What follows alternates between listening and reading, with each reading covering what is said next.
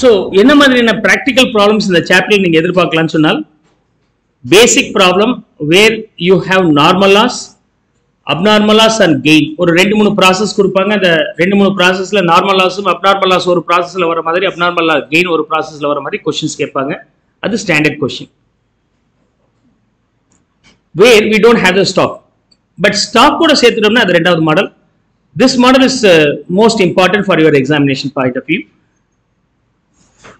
இந்த case of problems with stocks ஸ்டாக்ஸ்னு சொன்னாலே semi processed ஸ்டாக்காக இருக்கும். Work in progress fully finished goods கிடையாதுங்க. செமி ப்ராசஸ்டு ஃபுல்லாக ஃபினிஷ் ஆயிருந்துச்சுன்னா நெக்ஸ்ட் ப்ராசஸ் போயிருக்கும். ஃபைனல் ப்ராசஸ்லேருந்து காஸ்டிங் பீனில் அக்கௌண்ட் போயிருக்கும். அதனால ஃபினிஷ்டு குட்ஸ் கிடையாது. ஒர்க் இன் ப்ராக்ரஸ் அறகுறையாக முடிஞ்சிருக்கும். ஃபுல்லாக முடிஞ்சு அதோடைய வேல்யூ என்னன்னு ஈஸியாக கண்டுபிடிச்சிடலாம். பாதி பாதி முடிஞ்சிருக்கு. இந்த மெட்டீரியல் வந்து ஒரு இந்த ஒரு ஃபினிஷ்டு குட்ஸில் வந்து ஃபிஃப்டி பர்சன்ட் மெட்டீரியல் முடிஞ்சிருக்கு சார் லேபர் ஓரேட் தேர்ட்டி பர்சன்ட் முடிஞ்சிருக்கு. பேலன்ஸ் நம்ம இன்ட்ரடியூஸ் பண்ணோம்னா இட் வில் பி கம்ப்ளீட்டட் அப்படின்னு சொல்லுவாங்க. By the time how can be value so that type of questions is so important so அப்போ இந்த ஒர்க் இன் ப்ராக்ரஸ் வந்து ஃபுல்லாக ஃபினிஷ் பண்ணியிருந்தால் எவ்வளோ யூனிட்டுக்கு ஈக்குவலட்டோ அதை கன்வெர்ட் பண்ணிட்டீங்கன்னா அது பேர் ஈக்குவல் ப்ராடக்ட்ஸ் அதை பேஸ் பண்ணி கால்குலேட் பண்ணிக்கலாம். ப்ரிடாமினாக FIFO and average price will be important of course LIFO and weighted average மெத்தடை வந்து நான் ஐடியா மட்டும் கொடுக்குறேன். எக்ஸாம் பாயிண்ட் ஆஃப் வியூக்கு தேவை இருக்காது. And third process is all third model is all about inter process profit ஒரு ப்ராசஸ்ல இருந்து ரெண்டாவது ப்ராசஸ் போகும்போது அந்த ப்ராசஸ் இண்டிபெண்டா பார்க்கணும்னு நினைக்கிறேன். அந்த இண்டிபெண்ட்டாக அந்த ப்ராசஸ் எவ்வளவு லாபம் சம்பாதிக்குதுன்னு தெரிஞ்சுக்கணும்னு ஆசைப்படுறேன். அப்போ ஃபர்ஸ்ட் ப்ராசஸ்ல ஒரு அவுட்புட் ஒரு பாதி ஃபார்ம்ல முடிச்சு கொடுத்துருக்காங்களே அதோடைய காஸ்ட் என்ன? அதுக்கு ஒரு ப்ராஃபிட் சேர்த்து ட்ரான்ஸ்ஃபர் பண்ணுங்க அப்படின்னு சொல்லுவாங்க. நெக்ஸ்ட் ப்ராசஸ்ல போகும்போது transferred price from the previous process which includes previous ப்ராசஸோட profit uh, இவங்களும் ப்ராஃபிட் ஆட் பண்ணுவாங்க. ஸோ ப்ராஃபிட் ஆட் ஆகிட்டே போகும். ஃபைனலாக சேல் பண்ணும்போது கம்பெனி ஓவரால் ப்ராஃபிட் எவ்வளோன்னு கால்குலேட் பண்ணுற மாதிரி இருக்கும்.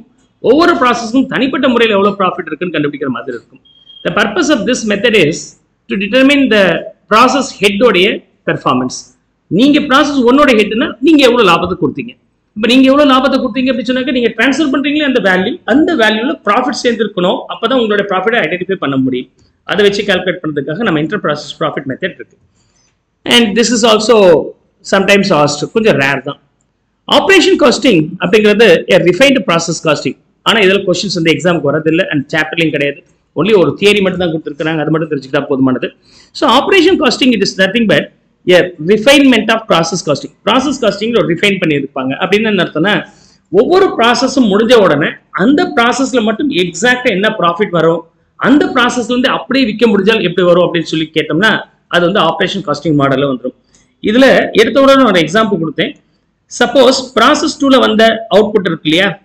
ஓகே ப்ரௌன் சுகர் வருது அப்படின்னு எக்ஸாம்பிள் சொன்னேன். இந்த சுகர் மேனுஃபேக்சரிங் கம்பெனியில் செமி ப்ராசஸ்டு ஃபார்ம்ல ப்ரௌன் சுகராக ப்ராசஸ் டூல வருது. அதை அடுத்த ப்ராசஸ்ல கொண்டு போய் ப்ராசஸ் ஃபர்தர் ப்ராசஸ் பண்ணலாம் அல்லது அதை அப்படியே விற்கலாம்னு சொன்னோம். அப்ப இதை இங்கேருந்து இப்படி இப்படியே நான் விற்கிறேன்னா இங்க இருக்கக்கூடிய எக்ஸாக்ட் காஸ்ட் எவ்வளோ அதுல எவ்வளவு ப்ராஃபிட் ஆட் பண்ணலாம்னு தெரிஞ்சிருக்கணுமா இல்லையா? அப்படி இந்த ஒரு ப்ராசஸ்ல மட்டும் எவ்வளவு ரேட்டுக்கு நம்ம பண்ணியிருக்கிறோம் என்ன ரேட்டுக்கு விற்க முடியும்னு கண்டுபிடிச்சோம்னா அது பேர் ஆப்ரேஷன்ஸ் காஸ்டிங் கொஞ்சம் ரேர் தான் அந்த மாதிரி கொஸ்டின்ஸ் எக்ஸாமுக்கு வரதில்லை ஆனா சிலபஸ்ல இருந்து என்ன சொல்லியிருக்கிறாங்கன்னா this is not applicable for your exams only the theory component is given with this two lines அது போதுமானது. Is that okay so we have to understand these four models right